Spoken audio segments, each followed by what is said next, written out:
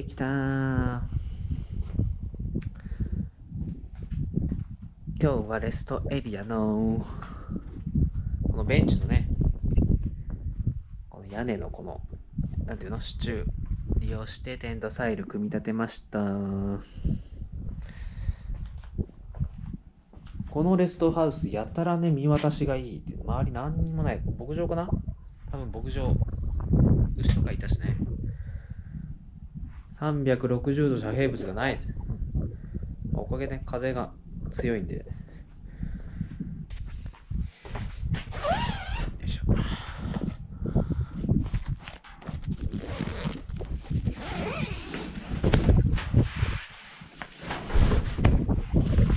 やべ上がれない。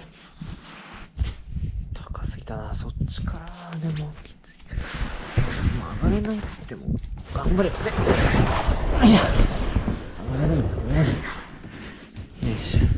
やっぱ相当登り入ってるね。よいしょ。ちょっと。あーやべハエが。ハエがね入ってきちゃった。こうね縁に。縁に座って。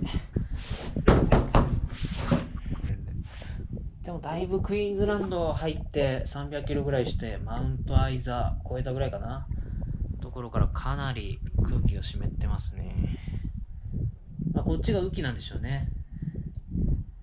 北部がね寒気だったんでねだんだん僕が雨季の方にね入ってきたっていうことですね。ハエこのハエが中に入ると厄介だからね。ちょっと早めに。降りちゃおうかね。よいしょ。まあ、あと2、3時、2時間ぐらいかな。ハエがいなくなるの。それまで耐える。あたたたた。待ってきちゃった。ムシムシしてます。こんだけ湿度高いと、気温は多分大丈夫だと思います。そんな寒くないと思いますね、もう。まあ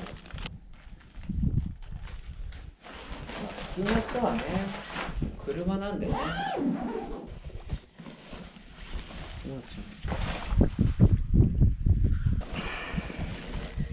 あとはね、あれです。スカイパッド。スカイパッドで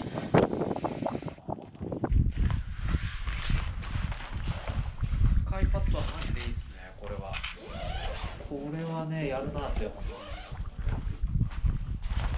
これ、わかります？あの、ま、こう縦にも横にもこう丸々みたいな。普通のエアマットってエアのラインが縦か横に入ってるじゃないですか。だからそうはいかないんですけど、これはね、なんかテントサイルに合わせてあるだけなんでテントサイルとそこがね、寝るとこうラウンド状になるんでね。マッチするようにできてるんでしょうね。よし、これで大方終わったんで、水でも飲んで待ちますかね。スマホゲームでもやってよ。